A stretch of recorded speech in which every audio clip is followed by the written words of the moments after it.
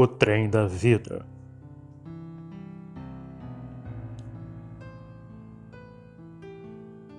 Um dia desses eu li um livro, um livro que comparava a vida a uma viagem de trem. Uma comparação extremamente interessante, quando bem interpretada, é claro. Interessante porque nossa vida é como uma viagem de trem, cheia de embarques e desembarques. De pequenos acidentes pelo caminho, de surpresas agradáveis com os embarques e de tristeza com os desembarques. Quando nascemos, ao embarcarmos nesse trem, encontramos duas pessoas que acreditamos ficarão conosco até o fim da viagem: os nossos pais. Infelizmente, em alguma estação, eles irão desembarcar. Irão nos deixar órfãos de seus carinhos, proteção, amor e afeto. Mas isso não impede que durante a viagem embarquem pessoas interessantes que virão a ser especiais para a gente, nossos irmãos, amigos e amores. Muitas pessoas tomam esse trem a passeio, outros fazem essa viagem experimentando somente tristezas. E no trem há também outras que passam de vagão em vagão, prontas para ajudar a quem precisa. Muitas descem e deixam saudades eternas. Outras tantas viajam no trem de tal forma que, quando desocupam seus assentos, alguém sequer percebe. Curioso Curioso é considerar que alguns passageiros que não são tão caros acomodam-se em vagões diferentes dos nossos, e isso nos obriga a fazer essa viagem separados deles.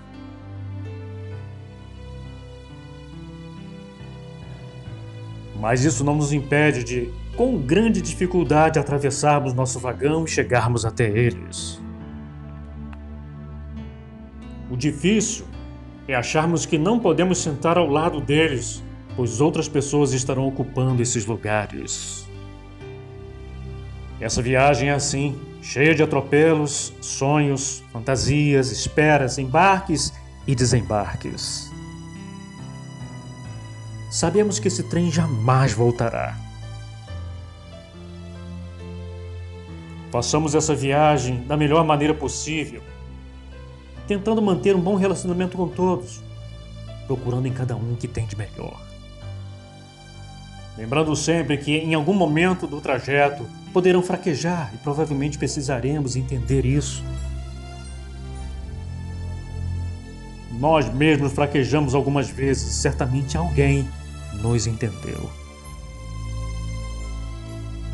O grande mistério é que não sabemos em qual parada vamos descer. E eu fico pensando, quando eu descer desse trem, sentirei saudades. Claro que sim. Deixar meus filhos viajando sozinhos será muito triste. Separar-me dos amigos que nele fiz, do amor da minha vida, será para mim dolorido.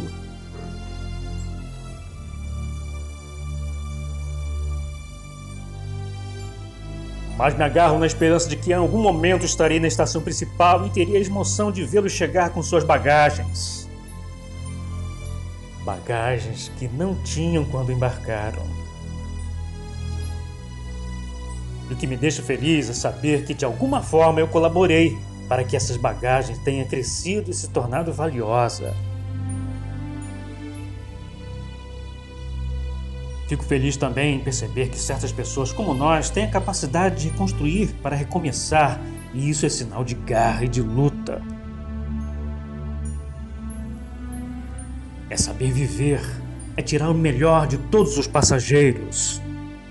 Agradeço muito por você fazer parte da minha viagem. Por mais que os nossos assentos estejam lado a lado, com certeza o vagão é o mesmo.